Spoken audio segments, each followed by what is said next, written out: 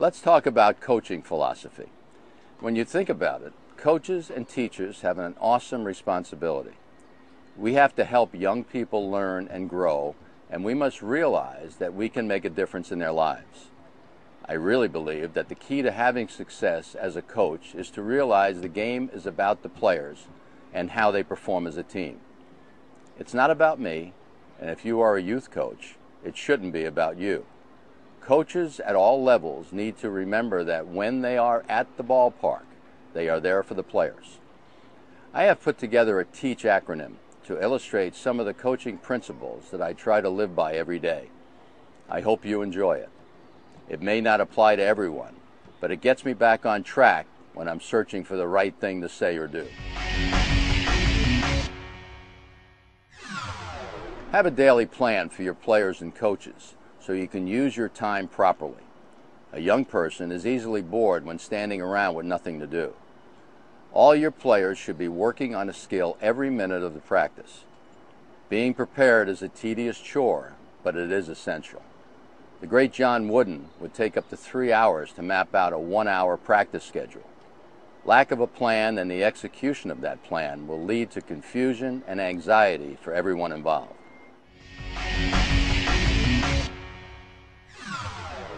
Have the stamina and enthusiasm to lift all the players and other coaches to their peak level. Practice and games should be a fun learning experience. Your players should walk away feeling that they have improved in some way and have a better appreciation for the game.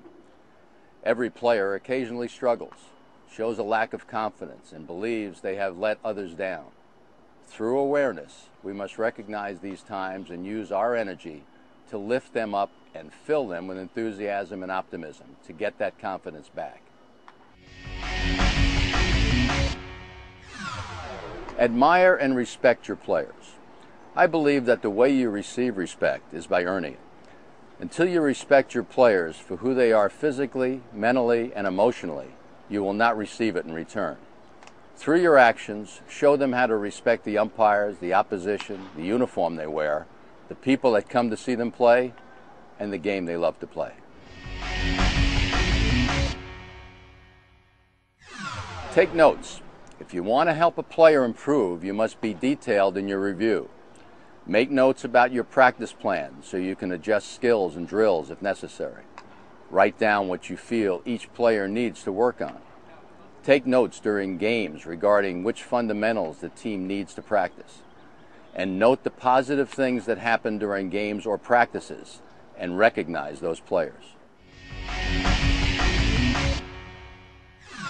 Be honest with your players and their parents. Players need to know what skills they need to develop, why they need to improve, and how they are going to develop those skills.